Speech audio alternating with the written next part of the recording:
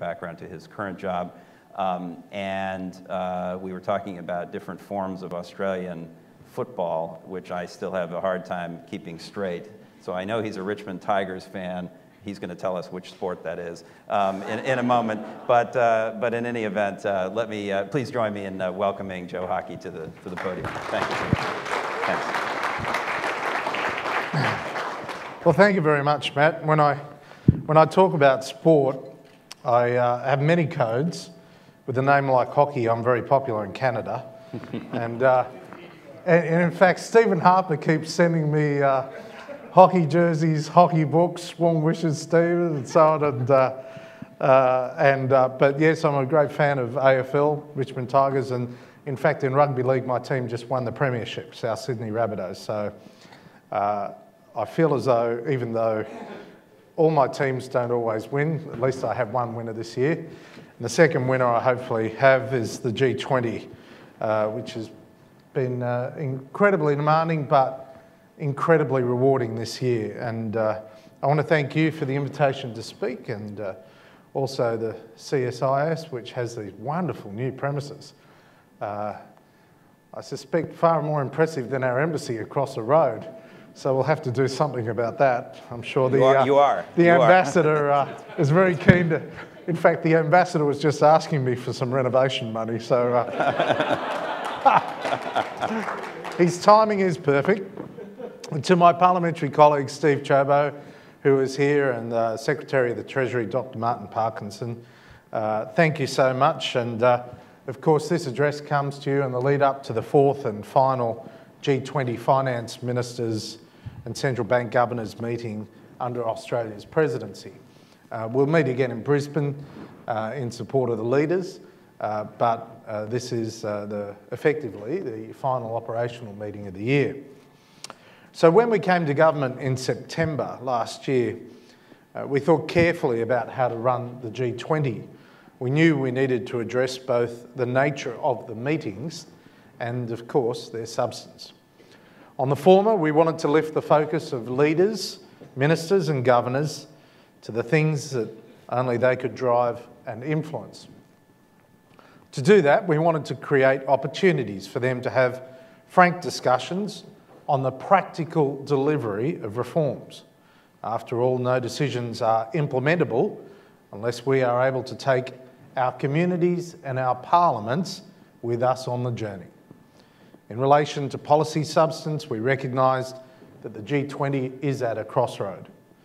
That's why we laid down four vital but achievable criteria. First, the G20 needs concrete, practical outcomes that withstand the annual change in the presidency. Second, those outcomes have to be well communicated by political leaders. Third, the outcomes have to be an integral part of a broader, enduring economic narrative. And fourth, we thought it was important to raise the cost of failure, to make clear to G20 members that the world was watching and judging us on the implementation of our decisions. Today, I'd like to give you an overview of what the G20 agenda has achieved to date against these four criteria. I'll also outline the path to the Brisbane Leaders Summit. When I was sworn in as Australian Treasurer in September last year, it was obvious that the challenge ahead would be to maintain the G20's sense of purpose and direction. To reinvigorate the group, the agenda had to focus on achieving outcomes and uniting around an ambitious but deliverable target. We determined that Australia's G20 year would focus on improving economic growth. This was particularly important given the frequency of downward revisions in growth forecasts by the IMF in the wake of the global financial crisis. Before our first meeting in Sydney, we promised to be good stewards of the institution by maintaining the G20's relevance and keeping a steadfast global focus, no matter what the challenges of the time. With that promise in mind, we identified how our success as G20 president would be defined. We could claim success if we achieved a number of practical outcomes. Firstly, We needed to deliver policies that lift growth and create jobs. Secondly, we wanted a more robust and trustworthy financial system that supports the growth objective. And finally, we wanted to deliver on the commitments made at St Petersburg to a fair and effective international tax framework that rebuilds community trust in the global taxation system. There are several layers to this plan, so let me expand on each initiative. First, we are on track to deliver practical actions to lift growth and create jobs. In February, finance ministers and governors agreed to the Sydney Declaration, which sets out to lift our collective global GDP by more than 2% over the next five years through new structural reforms driven by individual governments. This was a first for the G20. There had always been words to reflect ambition, but never numbers, let alone a target. In fact, we described it as an ambitious target. By Cairns, just a few weeks ago, G20 member countries had put forward over 900 measures. The IMF and the OECD estimated that our efforts could lift global GDP by 1.8% over five years, relative to the pre existing growth profile. It could deliver an additional $2 trillion to the world economy, and of course, millions of new jobs. So we're 90% of the way there. That's why we will intensify our efforts to find the final 10% before the Brisbane Leaders Summit in November. In Brisbane, members will present their new policy actions to lift growth. With these actions, we will lay down a credible policy monitoring process involving the IMF and the OECD. This will constitute the Brisbane Action Plan. in developing the growth strategies, members have in particular focused on lifting investment in infrastructure, which I understand you've been talking about a bit today. Because through investment in infrastructure, we can address demand weakness and improve productivity. In Sydney, we thought carefully about initiatives that lift infrastructure investment, with an emphasis on fostering more private sector involvement. Some months later in Cairns, we agreed to a global infrastructure initiative, which is about increasing quality infrastructure, not just amongst G20 member nations, but right across the world. The initiative includes members' individual commitments to improve domestic investment climates, as well as collective actions to facilitate the development of infrastructure as an asset class, as well as improving project planning and preparation and reducing information asymmetries. We're committed to developing a database, a global database of infrastructure projects to help match potential investors with projects. We also want to create a knowledge platform that helps to build public sector expertise and develop standardised documentation that reduces the costs of new investment and risks of new investment, I should add. We agreed to a set of best practices to help countries promote and prioritise quality investment and foster flows of long-term institutional investment. And we will support work to help grow new sources of finance for government and for investment.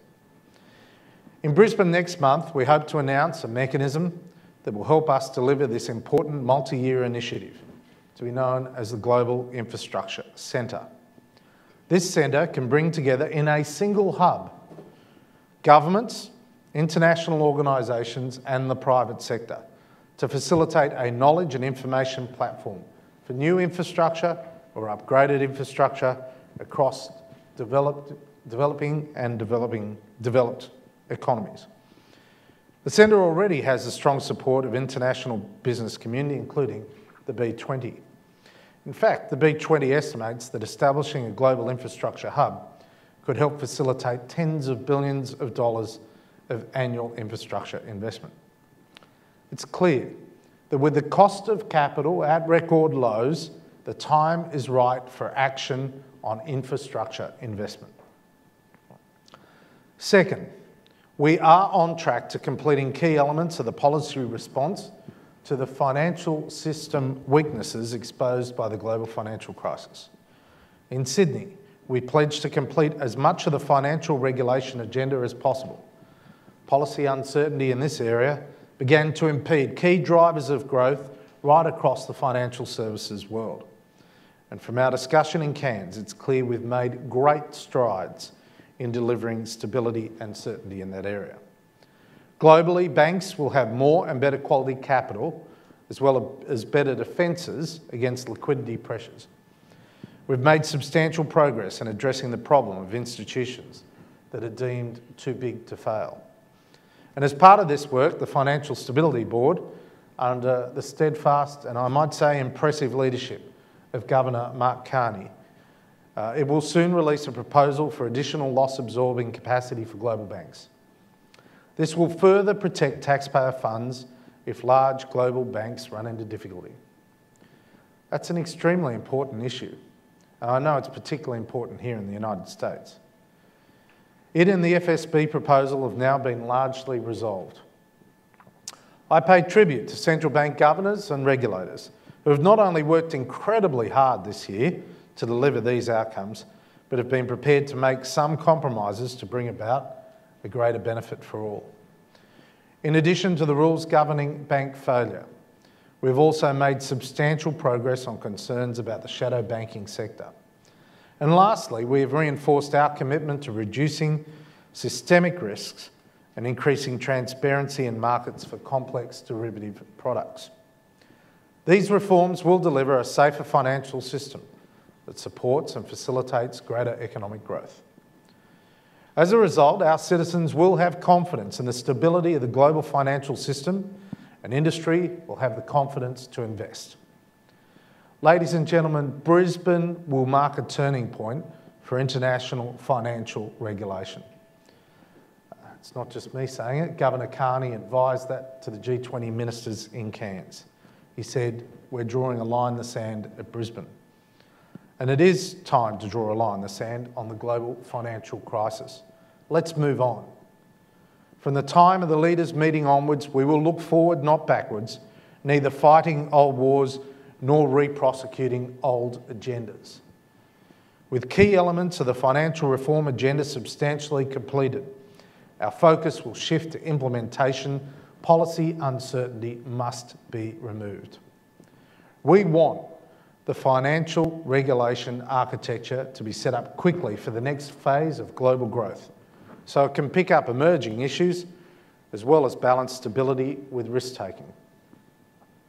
This will be supported by the changes initiated by the FSB, including a review of its representation and an annual report on the implementation and impact of reforms.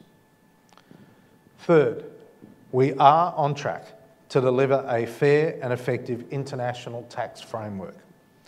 In 2013, at St Petersburg, members unanimously agreed to a 15 point base erosion and profit shifting action plan to be completed by the end of 2015. The two year action plan will not only help secure revenue bases, it will bring international tax rules into the 21st century, a system, I might add, that was set up just after World War I. Uh, and it will ensure they keep up with the changing business models of multinational companies. In Sydney, we expressed our continued full support with G20 and importantly, non OECD countries all involved in the project on an equal footing. In Cairns, we welcome progress made on the action items delivered this year. Seven of the 15 proposals have been presented by the OECD to our ministers. The remainder will be presented in Turkey next year. Sure, there's still much work to be done between now and the end of next year, but the progress we have made is extraordinary. And members are resolute about completing this complex agenda in 2015 as agreed. After all, we are finance ministers. We don't like to miss out on revenue anywhere.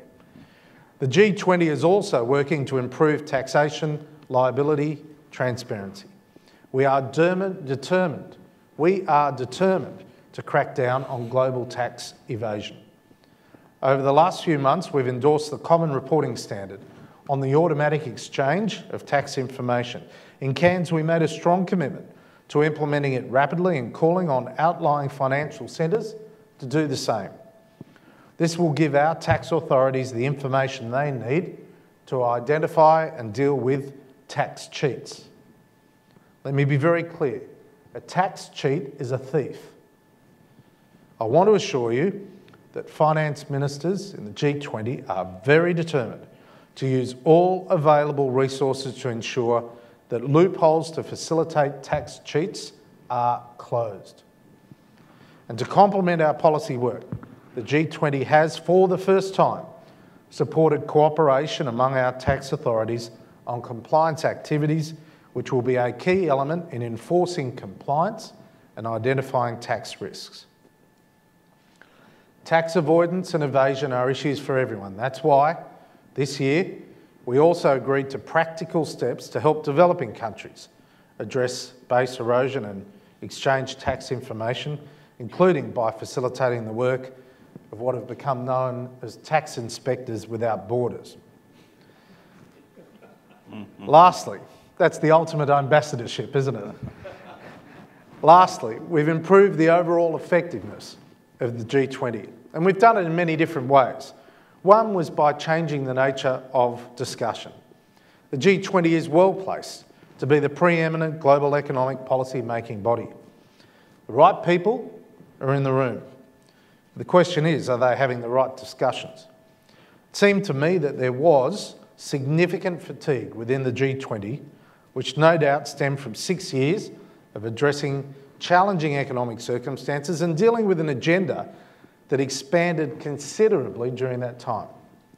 So we chose to focus our efforts on getting global growth back on track, creating new jobs. We resisted putting new items on the agenda and focused on the issues the G20 had been debating for some time, but had failed to finally resolve. As such, we tried to direct ministerial discussions to where they were most needed. That is, towards agreement on key policy issues or cutting through roadblocks to growth. Members had in depth discussions on macroeconomic cooperation and structural reform. We shifted the culture of the G20 by transforming it from a reactive institution into a more proactive, forward looking one. In Sydney, we adopted practical changes to the meeting formats so that they would engender genuine discussion. We also looked to build stronger relationships among members because if we were to work together more effectively, ministers need to know each other at a more personal level. This is important for the G20 because its strength comes from the familiarity of its members and their ability to leverage relationships. Better internal communication facilitates better external communication. It was clear to all the G20s, uh, it, was all, it was clear uh, that all the G20's public messaging simply had to improve. Our actions had to be understood and resonate with all members of the community, not just the technocrats.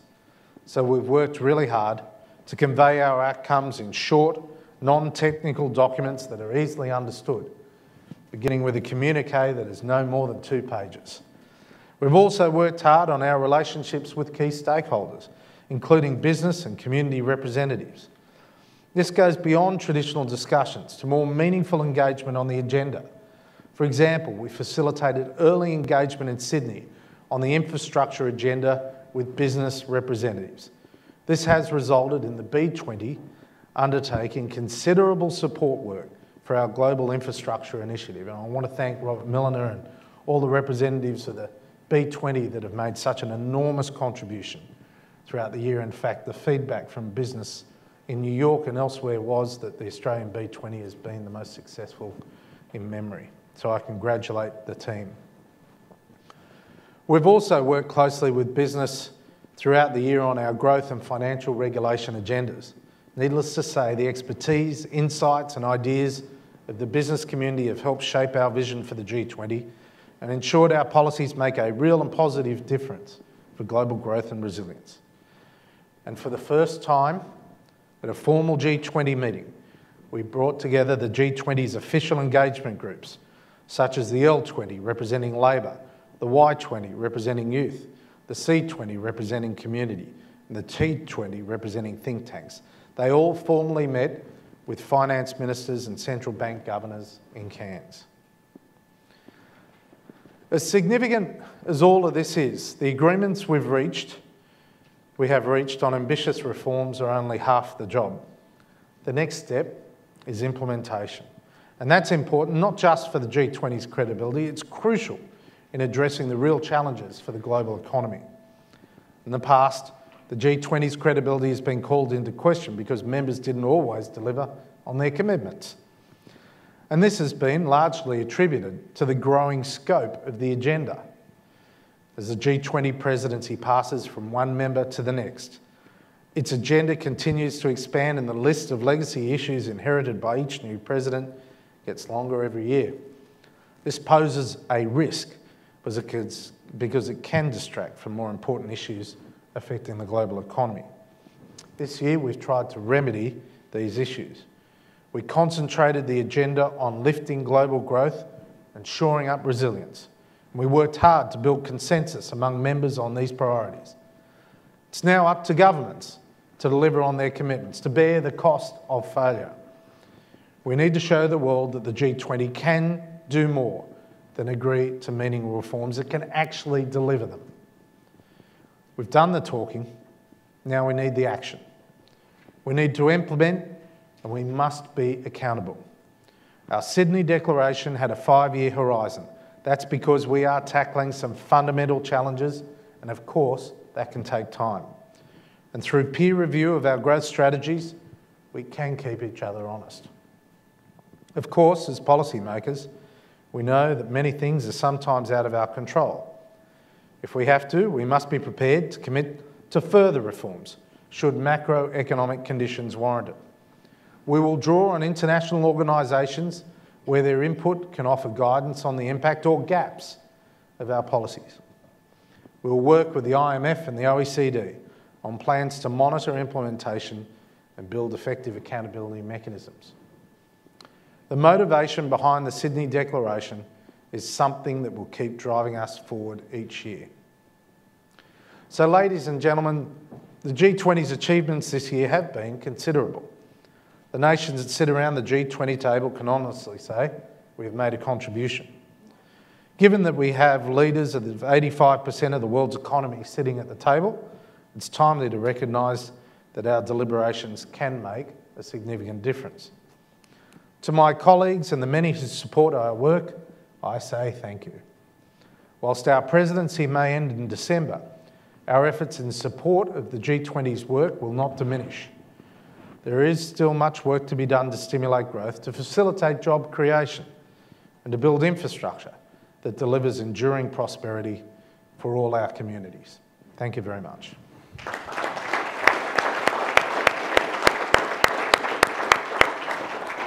Thank you very much. You want to have a seat there? Thanks. Thanks, Bill. Appreciate it.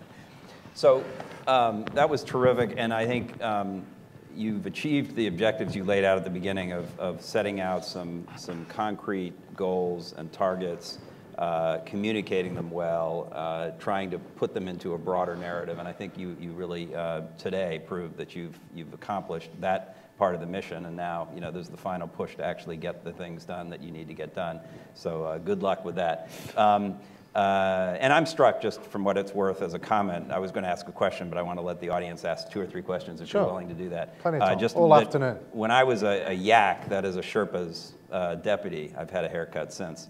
Um, uh, it was difficult to get consensus in that room, and uh, you know, the, the, frankly, there were there were floating coalitions. It wasn't sort of us versus them, but there were there were different groups of countries, and I just wonder how you've managed to pull these these countries together uh, whether you've picked the right issues, the right agenda that people can agree on. But then I guess I would ask a little mischievously, have you lowered the bar too much so that people can agree to things that are sort of uh, easy for people to agree to? Or have you done something special to kind of try to build consensus? Uh, so I guess I am asking a question before I open up the floor.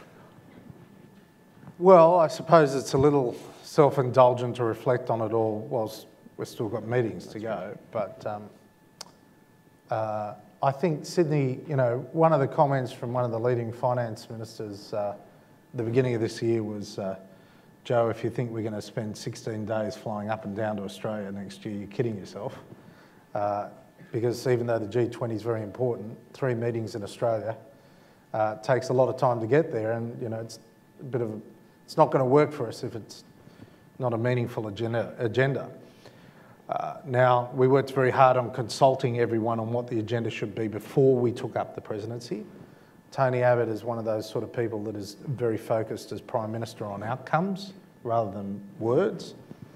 And uh, that suited the needs of the G20 perfectly. Now, uh, uh, I consulted all the ministers what, before we took the presidency and at this meeting last year. I said, what do you want out of the G20 next year? And what is going to be meaningful? And everyone's got the same problem. I mean, governments have run out of money. So uh, it's very difficult uh, and quite rare for governments to be able to use fiscal stimulus to create growth. I mean, there's some capacity, but overall it's quite limited. Monetary policy uh, has, has been stretched as, you know, arguably as far as it should go, but in some cases, again, there would be exceptions, but monetary policy hasn't got the capacity to deliver. Therefore, we have to have structural reform. Now, what a lot of technocrats don't understand is that ultimately we are in politics.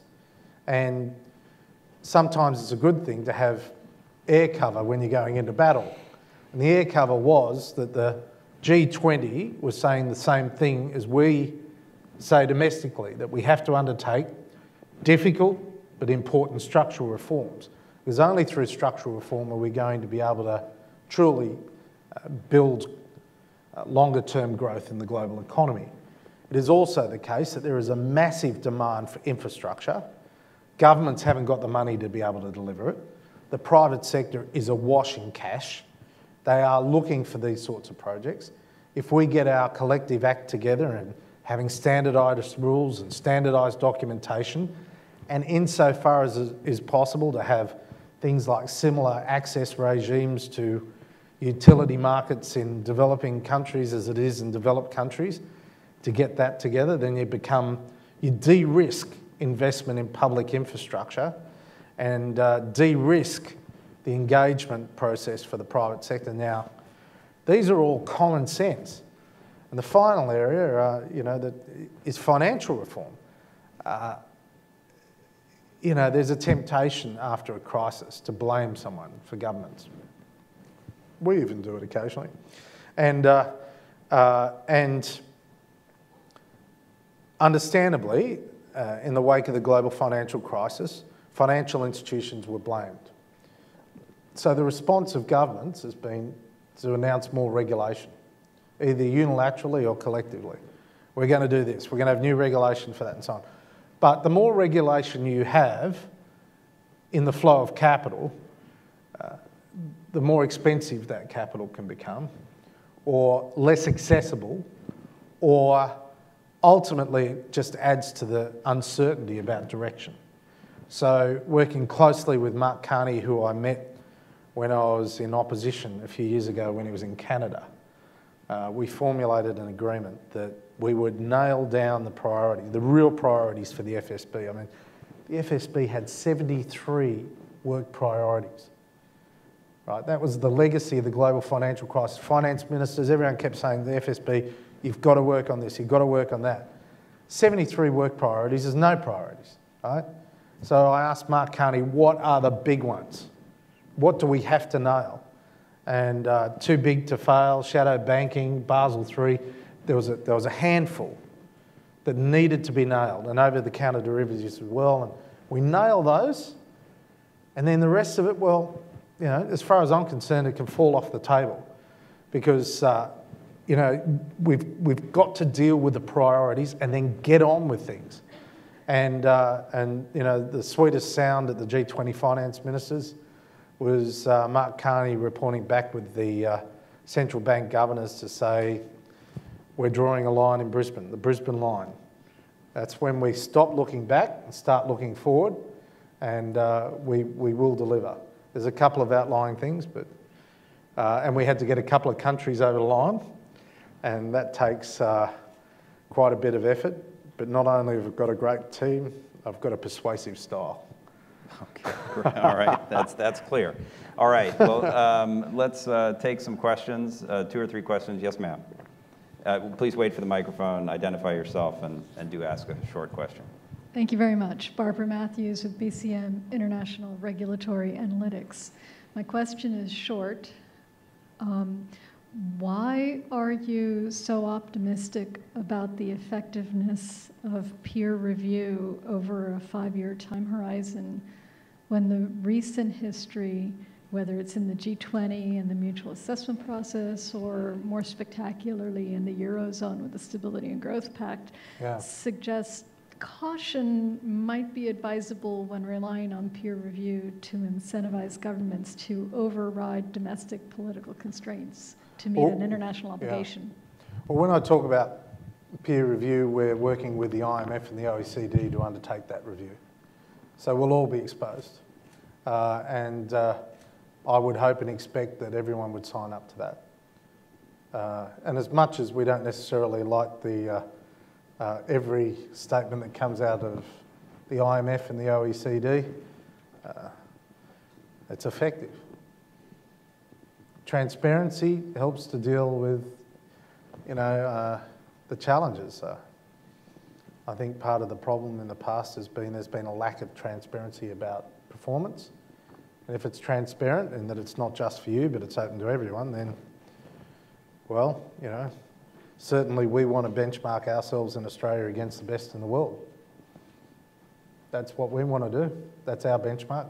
Other countries might have different priorities, and sure, other countries have got many different challenges to us, but I find that uh, I find the uh, independent, transparent, and uh, forthright approach of the OECD and the IMF on things helpful.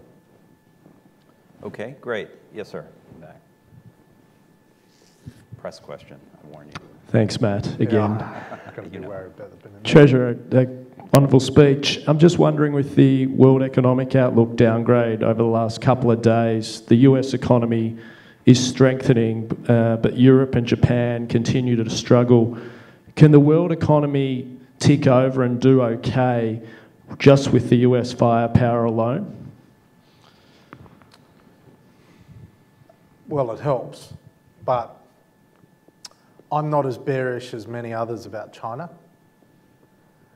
Uh, yes, there will be some measure of volatility, but what matters most is the determination of individual governments to do something that involves structural reform. And what has been most encouraging to me sitting around the table at the G20 is the reform agenda of various countries uh, as they've outlined, but in a number of cases actually delivered.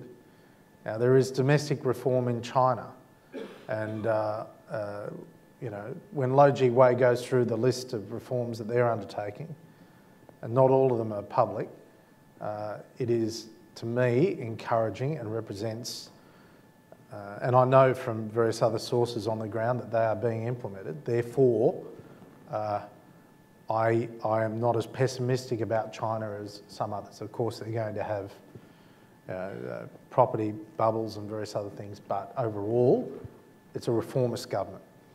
In Japan, again, it is a reformist government. Now, people in some cases have been sceptical, but uh, you know, you look at the numbers, you look at what they've done, and for example, in relation to uh, indirect taxes in Japan, and you say, this is very encouraging. And in our own negotiations on a free trade agreement, we saw Japan go further than it had previously done.